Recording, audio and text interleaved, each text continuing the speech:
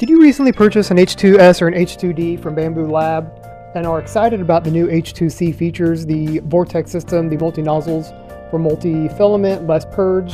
Me too.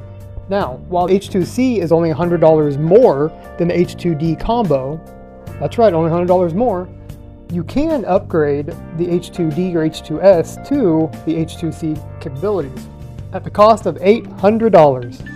The H2C is only $100 more than the H2D, but to upgrade the H2D or H2S, it's $800. And not only that, it will take you four to five hours and you basically have to rip the entire thing apart. The $800 for the upgrade kit would not be as painful to absorb if the H2D to H2C price was larger, as I think everybody expected. I'm gonna have to pass on this for now and just accept I made a mistake and did not wait. FOMO got me.